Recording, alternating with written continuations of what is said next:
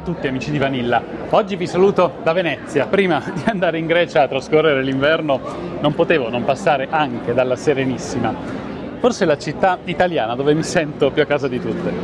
Nel video di oggi vedremo la storia delle esecuzioni e lo faremo anche con un ospite davvero speciale, lo storico e autore dell'articolo Davide Busato, lo conoscerete alla fine del video. A chi guarda il video e non è ancora iscritto vorrei chiedere di iscriversi a Vanilla e sostenere il nostro progetto di divulgazione culturale. Anche quando si parla di pena capitale se ne vedono sempre delle belle. Chi è colui che possiede più nomi ma nessuno osa chiamarlo? Potrebbe essere l'incipit di un classico indovinello, invece appartiene alla nostra storia. Stiamo parlando del maestro di giustizia, comunemente detto boia o carnefice. I romani lo chiamavano carnifex, ovvero colui che rende l'uomo carne. Boia invece si riferiva allo strumento del laccio o gogna e per estensione venne attribuito alla persona. Nel 1963 il regista Luigi Capuano dirige il Boia di Venezia, ma in città storicamente la sua figura è avvolta dal mistero in una repubblica attenta all'immagine e che rendeva spettacolo le condanne a morte eseguite tra le due colonne di San Marco e Sant'Odaro, risultò molto più semplice non far trapelare molto su chi si incaricava di una funzione tanto delicata. A volte si preferiva soldare uno straniero. Nel 1406 risulta uno scavone, ovvero dall'entroterra dell'Adriatico orientale.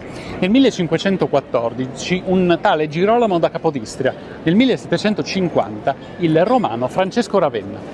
Curiosa anche l'usanza di incaricare temporaneamente un condannato a morte, facendo ben attenzione che non tentasse la fuga si preoccupava il magistrato del proprio a pubblicare il proclama nelle galere e nelle prigioni.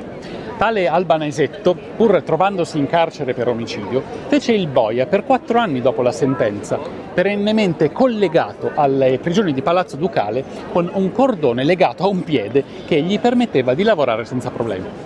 Nel 1728 il carnefice Giuseppino da Mantova venne ucciso mentre tentava di darsela a gambe levate. Due anni dopo Giuseppe da Brescia riuscì nella fuga e così anche Giovanni Agnello da Limenella nel 1740. Non si può certo dire che fossero stinchi di santo nemmeno quelli scelti tra i veneziani.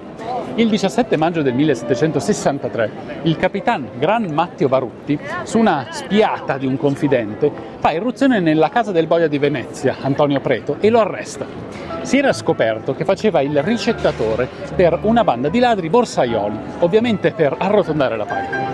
Una paga che per i parametri dell'epoca non doveva essere troppo bassa, nei registri di spesa degli inquisitori di Stato troviamo qualche indicazione. Nel 1717, per aver appeso Francesco Benedio al patibolo, fu pagato 12 ducati. Nel 1721, per la decapitazione di Carlo Alberti nei camerotti delle prigioni, guadagnò 5 ducati. Pensiamo che lo stipendio del maestro di violino Antonio Vivaldi nel 1705 era di 150 ducati all'anno.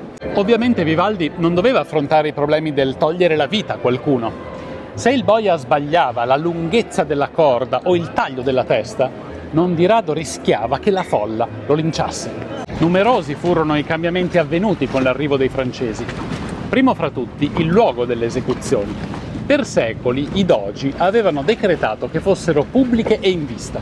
La scelta era ricaduta sulla piazzetta dove sorgevano le due colonne di San Marco e Sant'Odaro. Lo sguardo rivolto alla folla e alla torre dell'orologio per vedere l'ultima ora prima che la lama facesse calare il sipario. Nel 1806 il prefetto del Regno d'Italia vieta le pubblicazioni delle sentenze sul palco a San Marco. Il primo a beneficiarne è Pietro Maggi, condannato a 15 anni.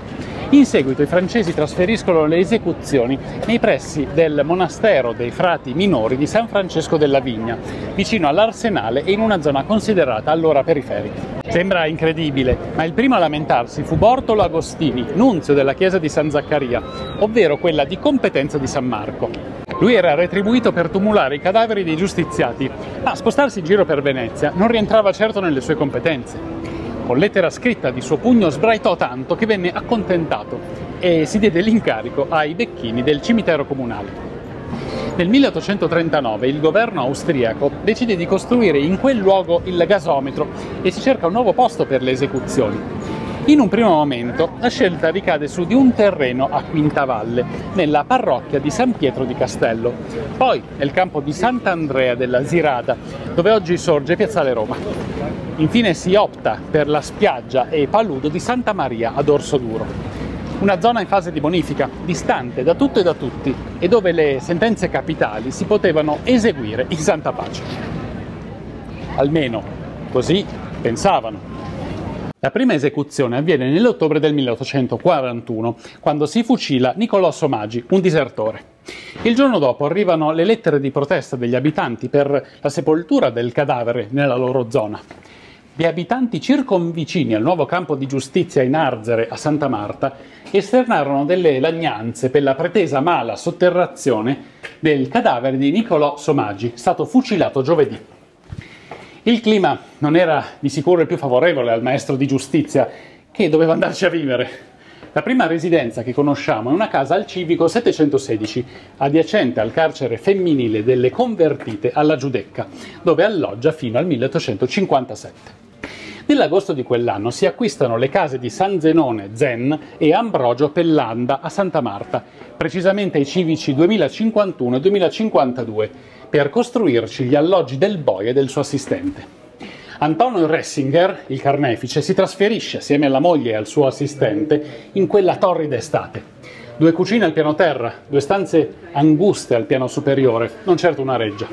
Chiede solo di porre delle inferiate alle finestre a garanzia della personale sua sicurezza e che venne adottata anche allorché abitava nel locale delle convertite, sebbene fosse quel sito meno remoto e deserto dell'altro che si sta ora riducendo. Nel novembre dello stesso anno Antonio richiede la costruzione di almeno due stufe per proteggersi dal freddo pungente dell'inverno in laguna. Quattro anni dopo, un'ennesima lettera affinché si eseguissero dei lavori al tetto e alle finestre, anche alla Camera per il suo assistente.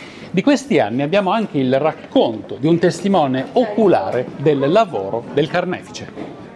E ora dalla zona di Piazza San Marco ci spostiamo verso le fondamenta Santa Marta, di fronte alla chiesa di San Nicolò dei Mendicoli, dove lo storico Davide Busato ci racconterà cosa successe quel 6 agosto del 1861. Alla fine della Repubblica di Venezia non terminarono le condanne capitali, anzi con le dominazioni straniere, soprattutto con gli austriaci, continuarono istituzionalizzate.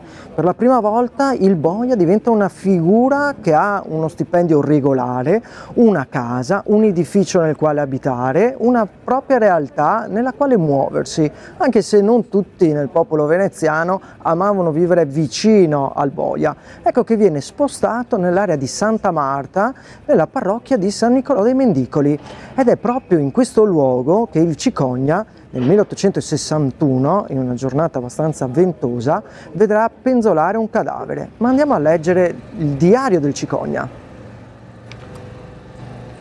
6 agosto. Ieri mattina, lunedì 5 corrente, fu impiccato un militare austriaco, reo di omicidio del suo caporale. Esso ne aveva anteriormente ucciso un altro, ma per difetto di chiare prove era stato dimesso dal carcere. Fu impiccato al palo con l'uso del cricco, macchina a ruota e asta dentata per sollevar pesi. Il palo era composto da due grosse tavole larghe poco più di una spanna ed alto un grosso uncino per cui è attaccato il laccio da cui pendeva il cadavere che vidi alle sette pomeridiane, mentre alle sei antimeridiane fu eseguita la sentenza. Aveva le mani legate una sopra l'altra e anche le braccia legate per dietro la schiena. Lo stato del cadavere non era per nulla schifoso, né lingue né occhi erano fuori dal centro. Dicono che sia il modo più acconcio e più sick per tale soggetto il vidi senza volere, perché recatomi alla sagra del lunedì di Santa Marta, ne feci un giro. Vidi quantità di gente, ne sapeva il perché. Erano curiosi che aspettavano il boia. Venisse a levare dalla forca il cadavere per darci sepoltura. Del resto, dall'altra parte della strada, ossia sull'arzere di San Nicolò, la bassa gente ballava al suono dei violini e clarinetti e mangiava sdraiata sull'erba nulla badando che due tiri di schioppo lontano era appiccato, che però non poteva vedere perché dietro le case. Ecco, questa è la descrizione che il Cicogna ne fa ed è l'ultimo che nella Repubblica di Venezia, oramai erano già passati di svariati anni, ma l'anno successivo, nel 1862, anche gli austriaci avevano smesso di condannare a morte per un periodo abbastanza breve perché poi con il Regno d'Italia fu abolita la pena di morte e ripristinata solo con il fascismo e per fortuna nel 1946, grazie al referendum, fu abrogata anche questa barbara pratica e purtroppo eh, per noi è difficile riuscire a ricostruire la figura di quello che è l'uomo dei nomi, dei numerosi nomi che nessuno voleva chiamare però.